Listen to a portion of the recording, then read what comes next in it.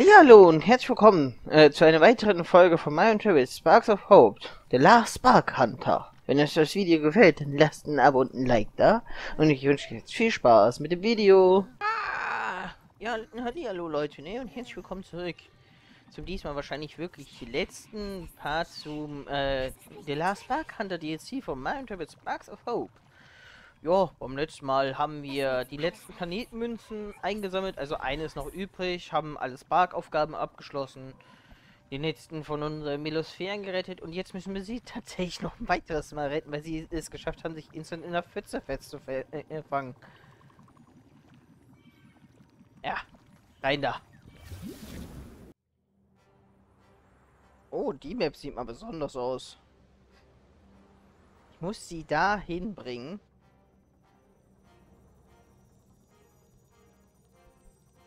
Darf ich sie werfen? Die armen Melosphären.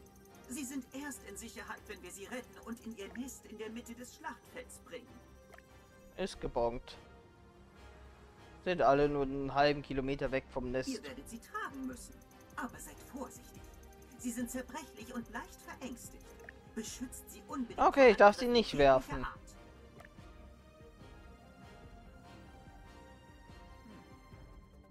Was haben wir denn hier als Gegner?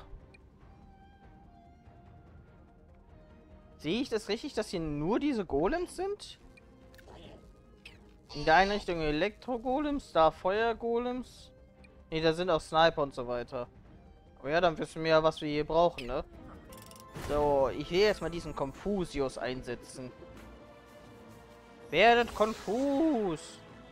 Werde du konfus. Der kämpft jetzt für mich, ne?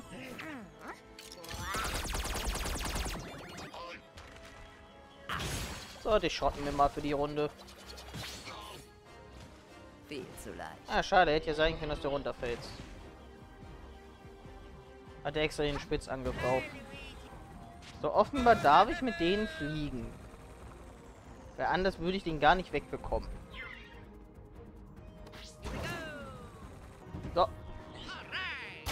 Tschüss. Der wird echt seinen einen Kunden verprügeln. Autschen. Na gut, wir kriegen ja easy nach Hause, ne? So, die kommen jetzt raus. Na los. Bin unempfindlich dagegen.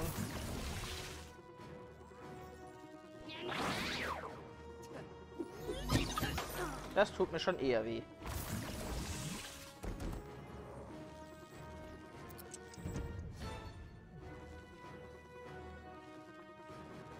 Ihr was? Kloppt euch doch einfach gegenseitig.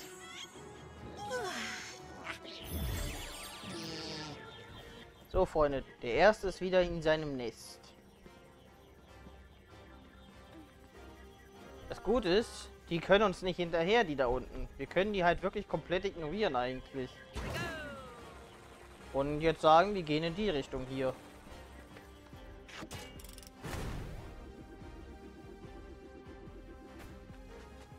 So, ich habe unseren kleinen Kumpel. Ne, schon.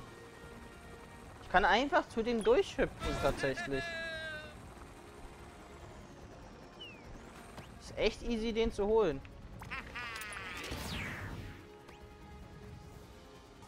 So, grüß mal meinen Elektroregen. Hat der echt viel abbekommen.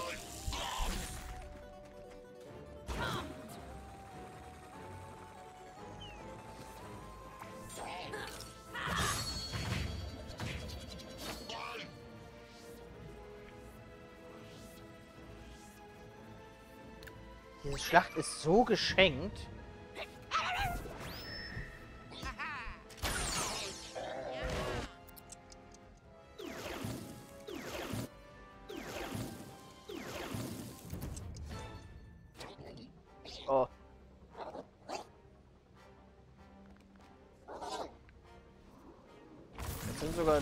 Anderen Richtung noch. Okay, die beiden teilen sich eine Fläche, die Richtungen. Gut. Der Teil ist schon etwas schwerer. Na los. Was? Aua.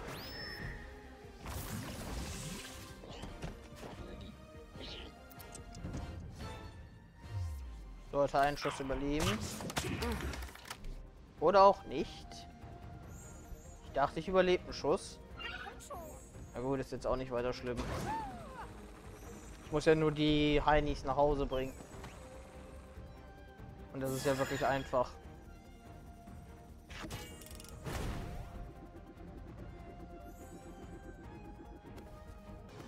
So, ab den kleinen Racker. Schieße dann jetzt einfach hier auf das Teil. Passt schon. So, und wenn der Golem sich bewegt, der wird durch die Sicht äh, abgeschossen.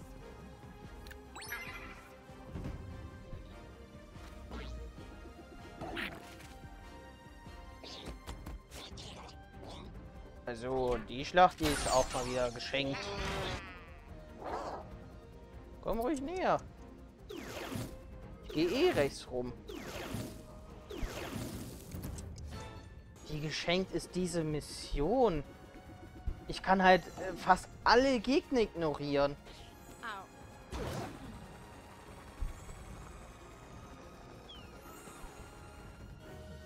Guckt mal, ich bin jetzt von dem einen Punkt da hinten aus durchgesprungen. Die Mission ist echt geschenkt. Ich musste so gut wie gar nicht kämpfen.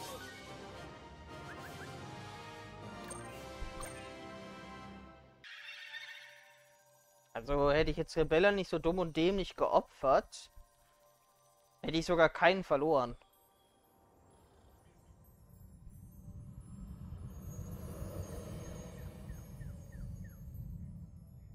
So, jetzt ist da offen, ne?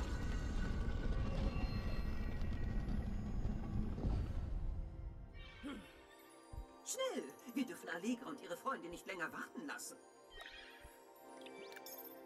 So, dahinter wartet uns äh, Allegras Freundin. Ich wusste jetzt nicht, ob hier eine Sequenz kommt, deswegen hatte ich mich jetzt einmal kurz aus dem Bild gepackt. So, Karte? Ach, haben wir hier nicht. Ja, Panik-Einkaufstour ist immer gut. Uns fehlt halt immer noch nach wie vor eine Münze. Oh. Ich helfe ihr sofort.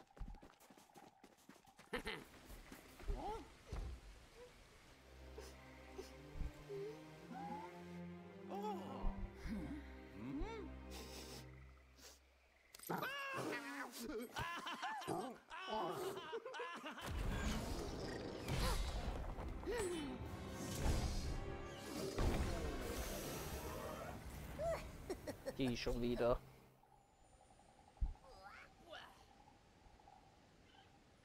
Gefällt er euch? Was sagt ihr nun? Ich hoffe, er gefällt euch. Immerhin habt ihr mitgeholfen, ihn zu erschaffen. Haben wir das? nach. All die Feldversuche, die ihr vorhin mit meinem Prototypen durchgeführt habt, gleich werdet ihr sehen, dass es sich gelohnt hat. Ah, schon okay. Wir glauben dir auch so. Ja, ich glaub's. Vergiss es. Und wenn du hunderte von diesen Monstrositäten hättest, würden wir niemals vor dir kriechen. Hundert? Tausend? Wäre es, wenn ganz Hortus Melodicus in einen einzigen riesigen Robokönig Bob Om verwandelt würde? Es ist vorbei. Wenn ich mit diesem Planeten fertig bin, hört hier nur noch eine Symphonie, und zwar die von Kettensägen und Schmiedehämmern. Alles. Und dann gehört die Galaxie mir. Keine Wächter, keine Misere. Nur ich, die letzte Sparkierin, die wirklich selbstständig denkt. Stimmt doch gar nicht. Genug gequatscht. Genug gequatscht, wir sind in einem Garten und jetzt könnt ihr die Früchte eurer Arbeit kosten.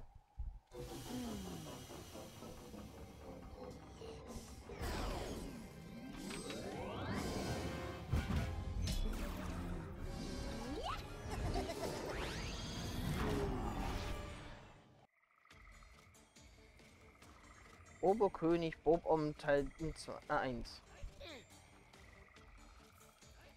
Ach, äh, äh, das Vieh heißt anders. Na gut, ist blau, nicht orange, ne? Wir müssen Dori retten. Oh je, oh je, oh je. Lasst uns nachdenken. Wir müssen diese Dory retten. Das ist unser oberstes Ziel. Aber es bringt im Moment nichts gegen Robokönig Bobom zu kämpfen, denn er ist unverwundbar, selbst durch seine eigenen Boboms. Okay. Aber wie sollen wir uns einen Weg zu der Dory bahnen, wenn die Bodenschalter, die wir aktivieren müssen, voller Finsterzeitkleckse sind? Das wissen wir doch schon. Wir nutzen die Bobombs, um die Finsterzeitkleckse zu entfernen und können dann die Bodenschalter aktivieren, um das Gelände zu verändern. Wir müssen unseren Weg klug wählen. An jeder Ecke warten andere Gegner auf uns. Auf zur Tacticam! Ja, super.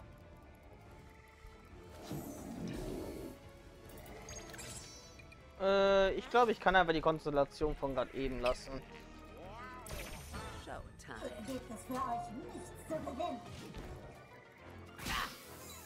Ja, ja, du mir auch.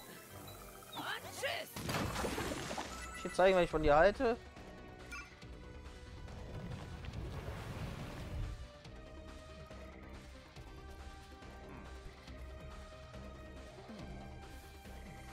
Kann einfach instant den nächsten Schalter freimachen. Selig.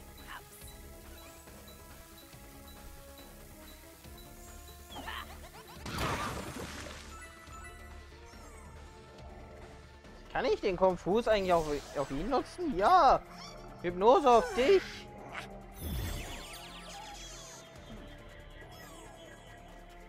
Hätte jetzt nicht gedacht, dass das funktioniert, aber es funktioniert.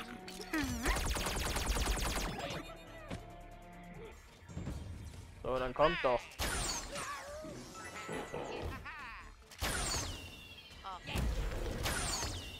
Du hättest ruhig als letzter gehen können.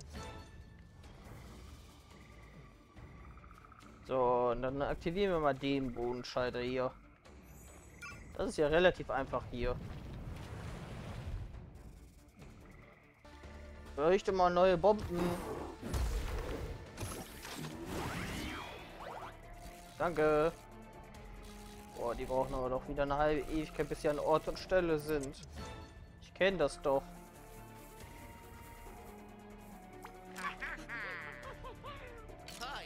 Äh, mach ich dich erstmal platt und dann muss ich auf die Bonbons warten.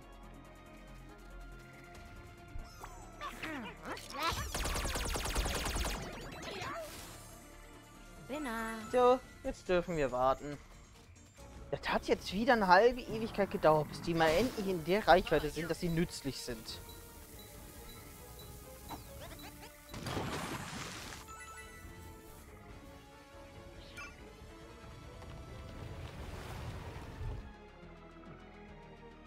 Weil die Bonbons, die bewegen sich so arg langsam. Ich habe jetzt vom Prinzip her hier so drei, vier Runden einfach nur AFK gestanden.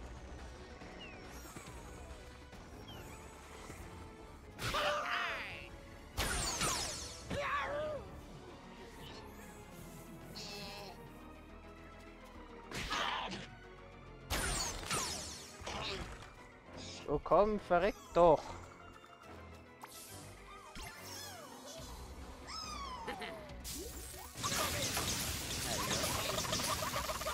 Brutze, Brutze.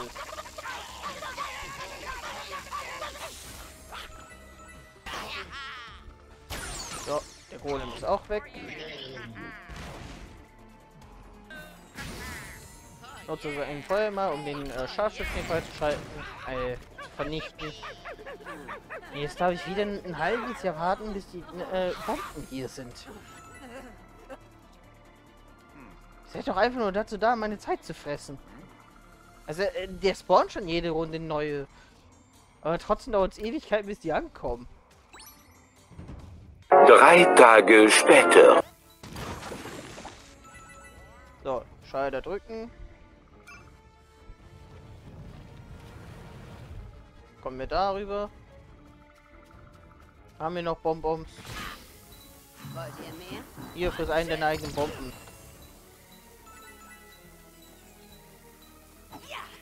Kann ich den Schalter auch noch direkt freilegen. So, Knöpfchen wird gedrückt.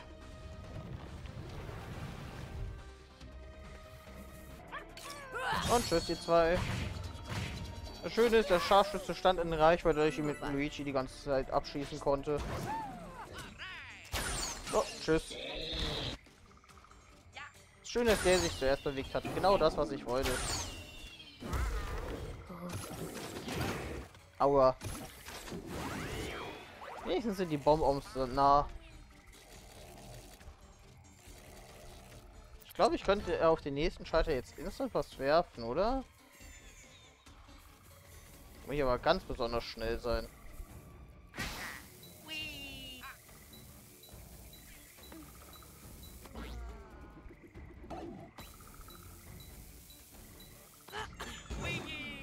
Der Timer geht zum Glück nicht weiter, während ich fliege. Und bam. So, der Golem ist weg und der Schalter gedrückt.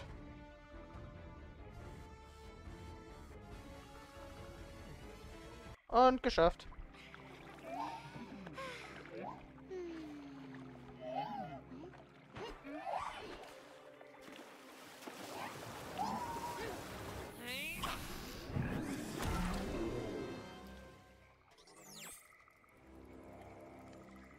So, mein Kumpel, jetzt bist nur noch du da.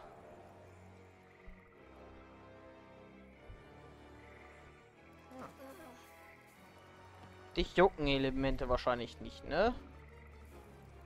Das Blatt wendet sich. Hoffentlich. Allegra ist an unserer Seite. Seht ihr diese Verstärkerantenne in dem Käfig da? Wenn es uns gelingt, die Kleckse zu zerstören und die Bodenplatten des Käfigs zu aktivieren, können wir die Antenne befreien. Dann ist es an Allegra und der Dori, uns am Schild von Robokönig Bobom vorbeizubringen.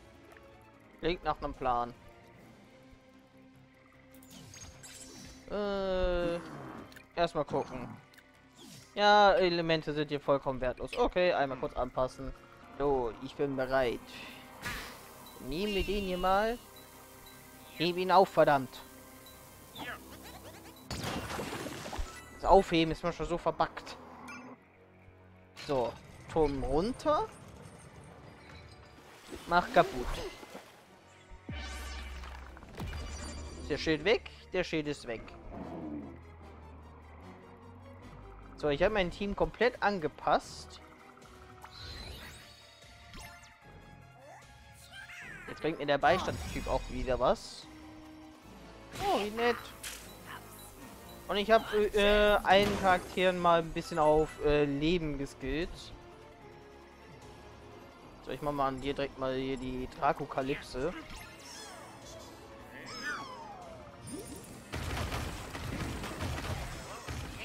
Danke für das Leben.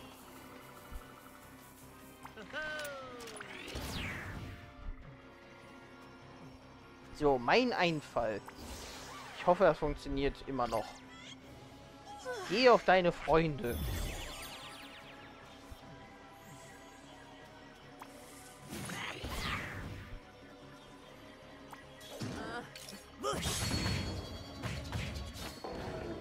Ihn zu verprügeln haut die Hypnose nicht weg. Okay, das hat mich die ganze Zeit schon interessiert.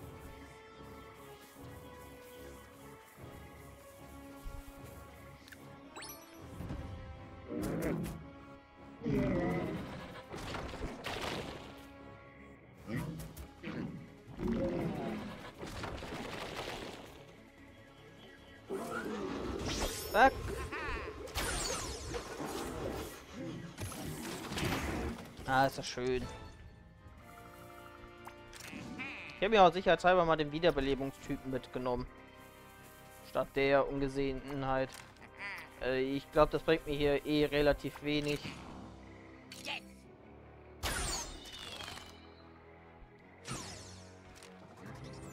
Ach, guck mal, der Schild ist schon wieder da. Das sind mehrere Platten. Muss ich die alle drücken?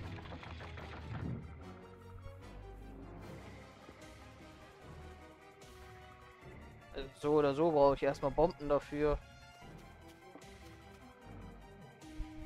Ja, nice, ne? Kann ich mich eigentlich hinter der Kanone verstecken? Nee. Es sollte weit genug weg sein für alle Gegner. Aua.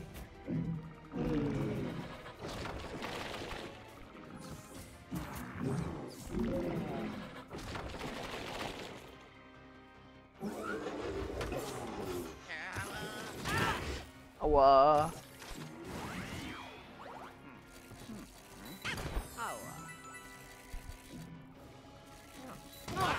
Autschen. Ist nicht dein Ernst. Eine tolle Idee, die ich gleich eventuell verwirkliche. Kommt mal alle her zu mir. Natürlich macht mir das Schaden, wenn er zu mir herkommt. Keine Chance. Weg mit dir. So. Und Jetzt mache ich den großen Träger.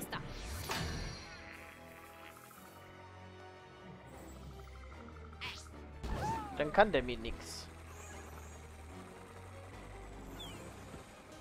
Ich muss aufpassen, dass ich nicht in seiner Nähe bin, wenn der dran ist.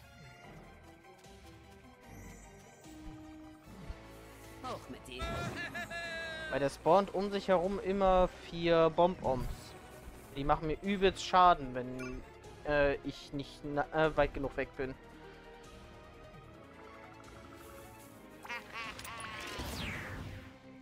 So. Nächster Knopf frei.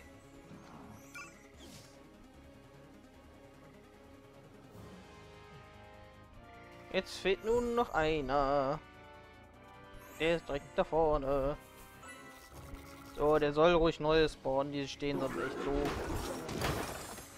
Der hätte sie so oder so umgenietet.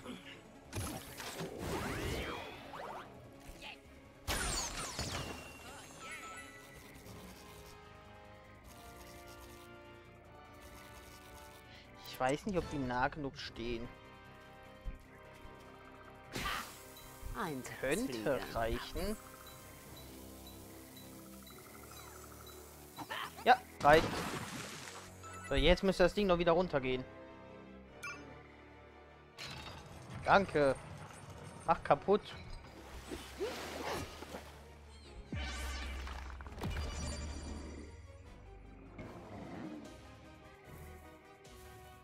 Dracula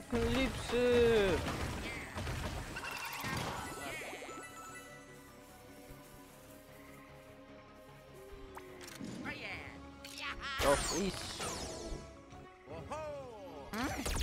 Bei denen macht sowieso keinen Unterschied, ob ich hinter einer Deckung stehe oder nicht.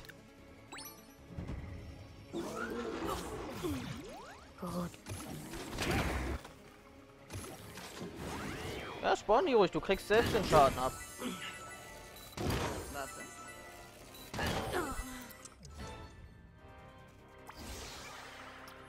Ich glaube, der ist jetzt hinüber.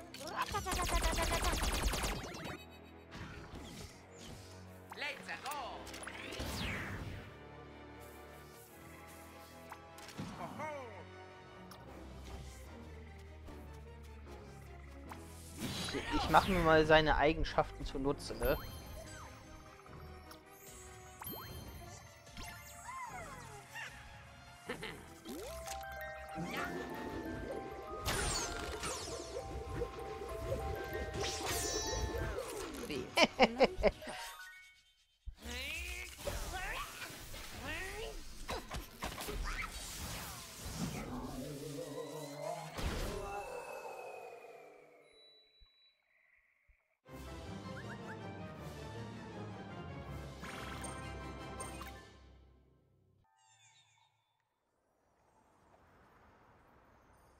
Ja, Leute, geschafft, ne?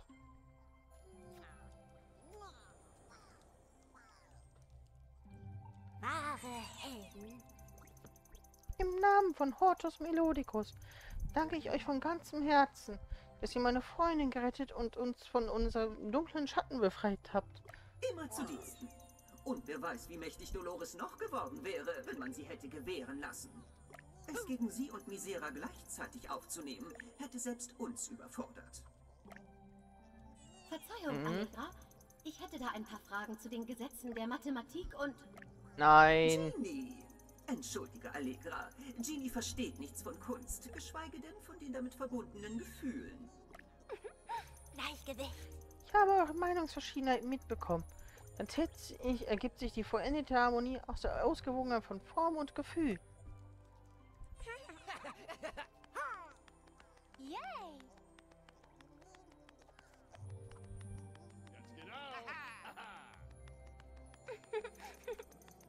Ähnlich scheint es mir bei den Helden zu sein, die ihr beiden anführt. Tja, keine Ahnung, aber eins weiß ich. Seit wir Kartmaltal verlassen haben, sehne ich mich danach, eine Biophonie zu hören. Ja, ich will sie jetzt auch hören. Apropos verlassen. Der Planet ist wieder im Gleichgewicht und die Luftdichte normal. Die WM Arche ist also startbereit. Auf eure Plätze! Dann möge unsere akustische Landschaft eure Himmel im Kampf gegen Misera sein und euch für den Rest eures Wegens Mutes verleihen.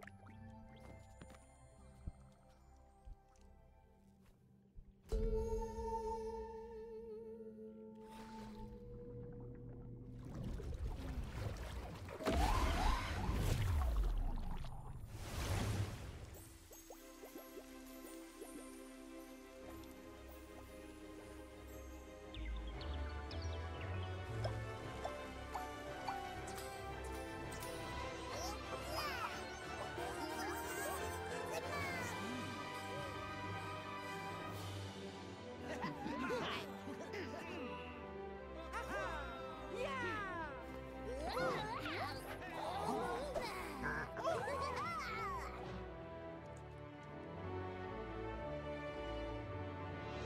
Ja, Leute, das war das DLC, ne?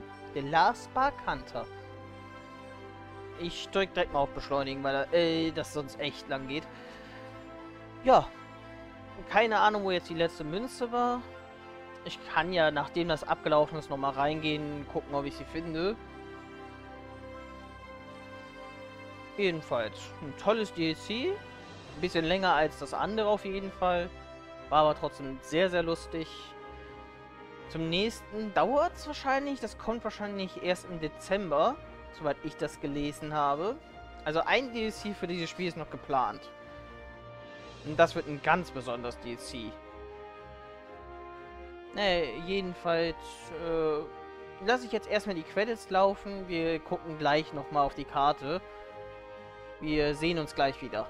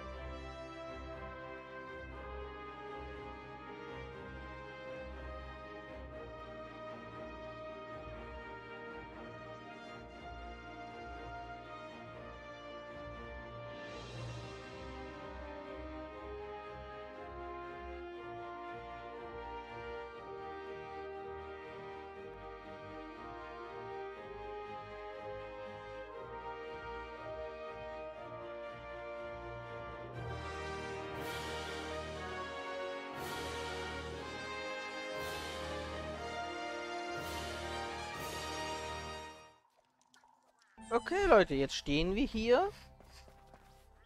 Die Harmonie ist auf den Planeten zurückgekommen. Hm, Musik ist Heilung. Nee, nee, lass mal. Die Biophonie war tatsächlich sehr schön. So, jetzt will ich aber nochmal auf die Karte gucken, weil, wie gesagt, es fehlt noch was. Es fehlt eine Münze. Ist das irgendwie so Standard, dass man eine Münze einfach überhaupt nicht finden kann, aber trotzdem angezeigt bekommt? Ab irgendeinem Punkt fühlt man sich echt verarscht. Vielleicht da. Das sieht so aus, als ob da so ein winziges Labyrinth wäre.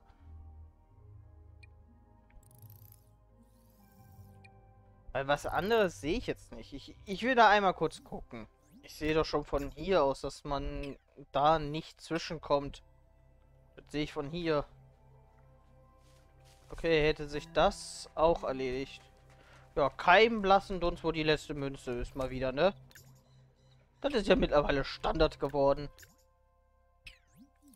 Dass die letzte Münze irgendwie so massiv versteckt ist, dass man sie schlicht und ergreifend nicht findet. Also ich war halt wirklich überall. Jedenfalls, das war das äh, Mario Travel Sparks äh, äh, Hunter DLC. Es gibt noch ein DLC, aber das kommt, wie ich gerade eben schon sagte, äh, erst gegen Dezember raus. Also so in die Richtung.